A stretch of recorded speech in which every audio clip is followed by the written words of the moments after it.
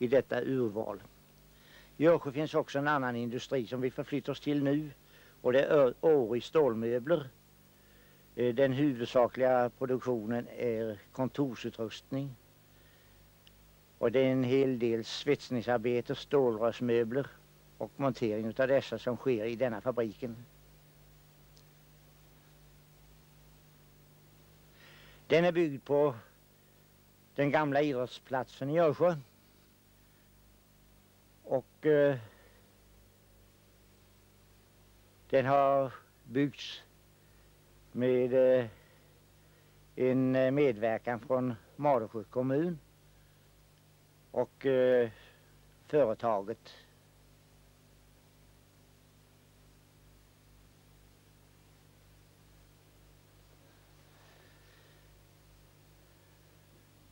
Här svetsar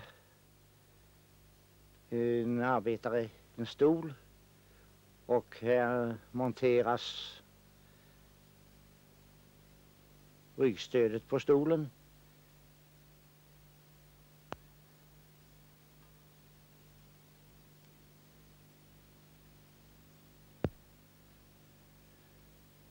Det är eh, mycket monteringsarbete här.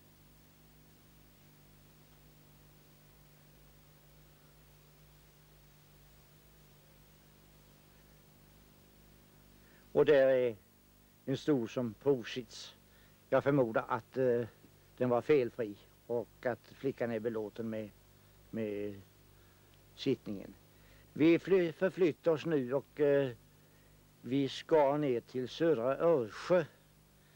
Vi ska till eh, Henry Karlsson.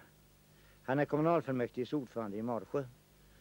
Och vi möter honom här i hans hem i södra Örsjö. Det är Ivet Elmot som är på besök och Eh, uh, gästar honom. Det är mm, två kommunala förtroendemän som träffas och jag förmodar att de samtalar, kanske om något kommunalt problem, kanske långt fram i tiden, kanske det är aktuellt. Men eh, de blir här bjudna på kaffe utav Henrik Karlssons maka Birgitta som eh, i köket lagar till den åtråvärda drycken.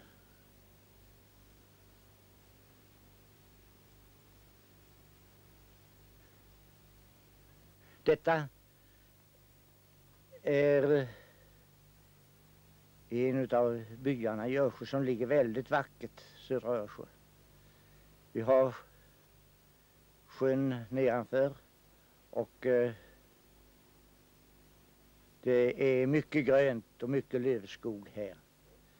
Och så är man då färdig att eh, njuta av kaffetåren. Jag är övertygad om att den smakade ypperligt.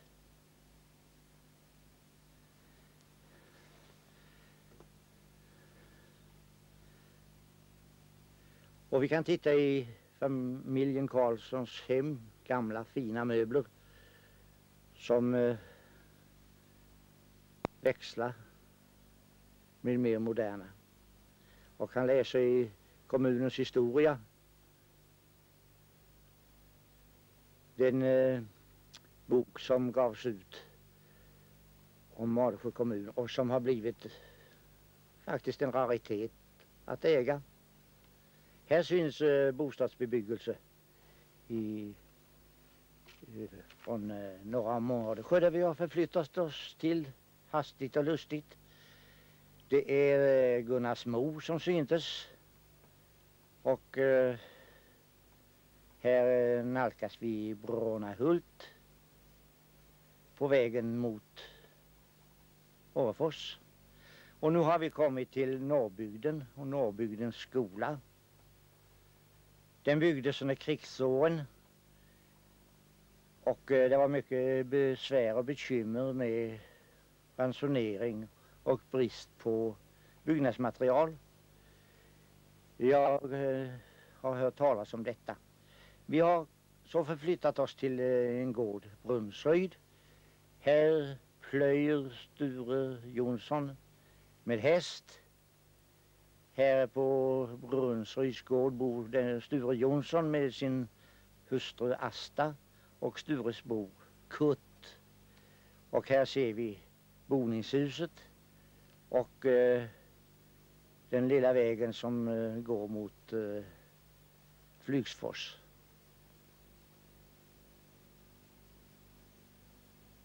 Hösten har piskat ner de sista lönnlöven och eh, marken är täckt av löv. Och eh, ungdjuren går fortfarande ute. Här har vi då deras ladugård. Och eh, här har vi den, det andra alternativet till plöjning. Det är med traktor.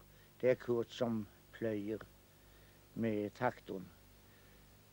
Och eh, nog förefaller det att vara mindre ansträngande än att eh, plöja med häst.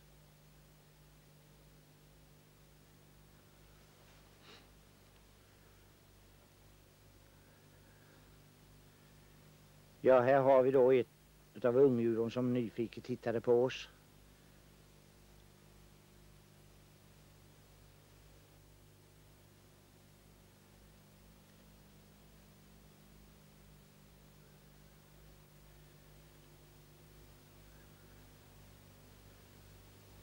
Och Sture Jonsson, han eh, går till något nytt arbete. Han ska räfsa löv.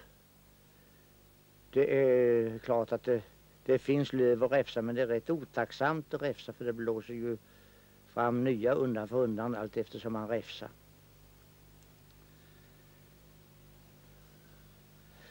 Så ska vi då från denna gård förflytta oss mot Flygsfors. Det är, ligger på ja, någon, några kilometers avstånd från, från Brunnsryd. Och här i Flygsfors så har vi dammen, kvarndammen vid Bråtemåla kvarn. Den ligger, och här har vi ny bebyggelse, nya villor, radhus i, i Flygsfors. Det ligger strax utanför. Bråtemåla ligger strax utanför.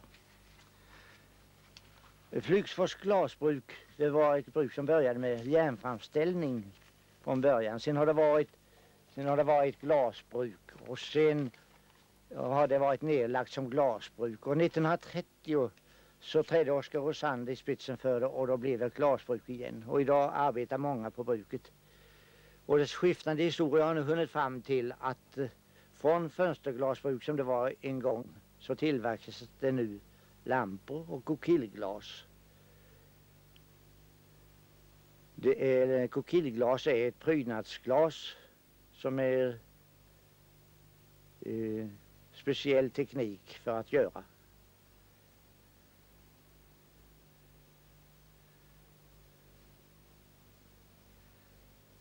Här kan vi följa glasblåsningen.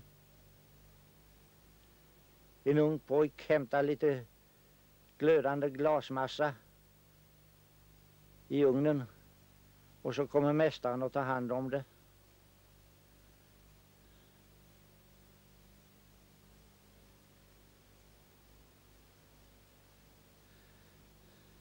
Och där har vi Osvald Svensson, han är en kommunal förtroendeman. Han är med i kommunalfullmäktige i Mårdesjö. Han arbetar här.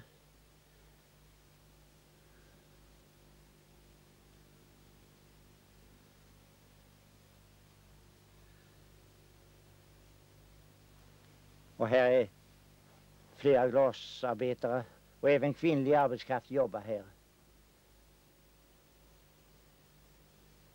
Här är provexempel på deras tillverkning. Här har vi kokillglaset som är i flera färger och eh, konstnärligt bearbetat.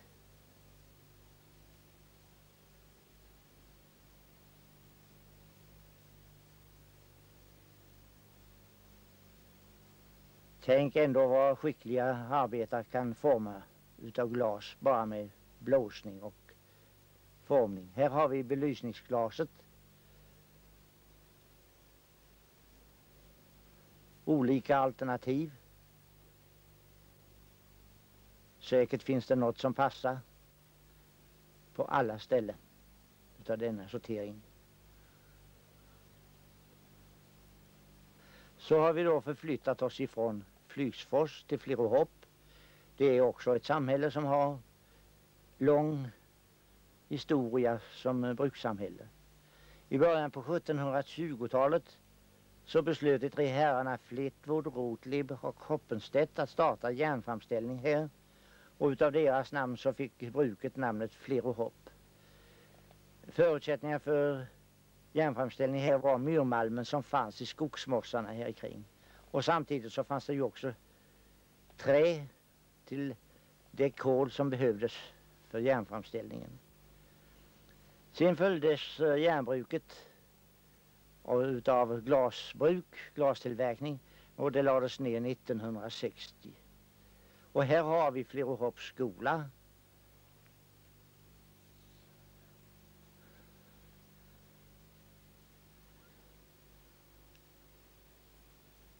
Och den unga generationen går här på skolgården.